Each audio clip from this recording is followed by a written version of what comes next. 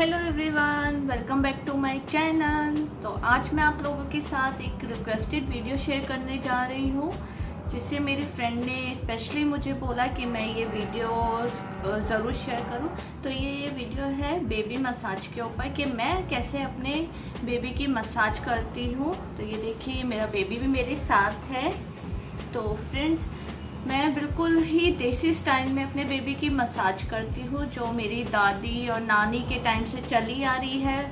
उसी तरीके से मैं अपने दोनों बच्चों की मैं मसाज कर चुकी हूँ। तो मैंने आरफ की भी उसी स्टाइल में मसाज की थी, जब आरफ छोटा था, और कृषिप की भी मैं वही, वैसे ही मसाज करती हूँ। तो ये बहुत ईजी मसाज है और बहुत अच्छी है। और सबसे ज़रूरी बात मैं ये कहना चाहूँगी कि जिस दो इंग्रेडिएंट्स को जो मैं यूज़ करती हूँ मसाज के लिए, उससे बेबी जब बड़े हो जाते हैं तो उनके बॉडी पे जो बालों की ग्रोथ है, वो बहुत कम हो जाती है। और जो हेयर जो आते हैं, वो बिल्कुल ही, आपने देखा होगा कि बॉडी पे जो हेयर्स आते हैं, वो से इस मसाज से उतर जाते हैं। तो जब बड़े होते हैं तो आपके बेबी के बॉडी पे बिल्कुल बाल आपको बिल्कुल कम नज़र आएँगे। तो ऐसे ही आप देख सकते हैं कि मेरे हाथों पे बहुत ही कम हेयर्स है क्योंकि मेरी भी मसाज बिल्कुल ही उसी स्टाइल में ही हुई है। तो इसलिए मुझे जो वैक्सिंग है महीने में चार चार महीने में मैं एक बार वैक्सिंग कराती हूँ। मुझे ज़रूरत नहीं पड़ती क्योंकि मेरे बॉडी पे हेयर्स नहीं है। तो फ्रेंड्स आइए मैं आप लोगों के साथ ये शेयर करती हूँ। बहुत ही अच्छी मसाज कृषि भी बहुत एक्साइटेड है। तो चलिए स्टार्ट करते हैं ज़्यादा बात ना करते हुए। तो फ्रेंड्स ये देखिए, ये यहाँ पे मैंने थोड़ा सा आटा लिया है। एक रोटी जितना आटा मैंने इसमें लिया है। इसमें कुछ भी ऐड नहीं करना है, सिर्फ़ वाटर ऐड करके इसको गूंद लेना है। तो आप ये देख देख सकते हैं, ये यहाँ पे मैंने आटा गूंद लिया है। इसमें मैंने कोई नमक ऐड नहीं किया, सिर्फ़ वाटर से मैंने ये आटा गूंदा है। ये यहाँ पे मैंने देसी घी लिया है, दो चम्मच। इसको मैं हल्का सा मेल्ट कर दूँगी। तो फ्रेंड मसाज करने से पहले आप अपने हाथ अच्छे से वॉश कर लीजिए। उसके बाद आपके नेल्स कटे होने चाहिए ताकि बेबीज को चुभे ना। और अब आप, कोई भी फिंगर पे अगर आपने रिंग्स पहनी है, उसे ज़रूर उतार दीजिए। तो बच्चे की मसाज आराम से और अच्छे तरीके से होनी चाहिए।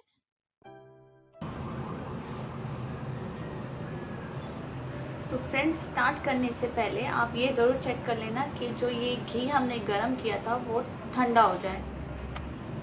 तो ये ठंडा हो चुका है तो मैं अब स्टार्ट करती हूँ। और हो सके तो आप, अगर आप डाइपर की जगह ये ऐसी लंगोट पहनाकर मालिश करें तो ज़्यादा अच्छा रहता है। बच्चों को भी कंफर्टेबल फील होता है। ये देखिए, ये हमारी नानी, दादी ऐसे बनाते थे बच्चों के लिए तो मैं भी यही पहनाती हूँ अपने बेबी को। तो चलिए स्टार्ट करते हैं।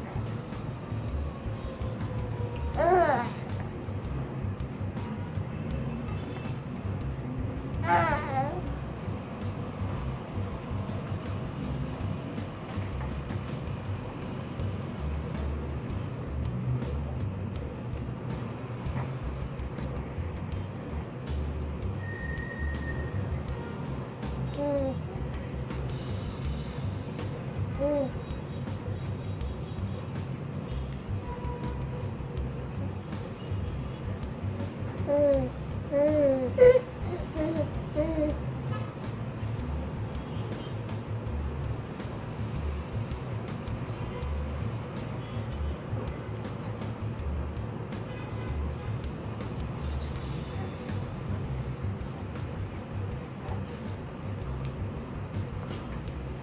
嗯。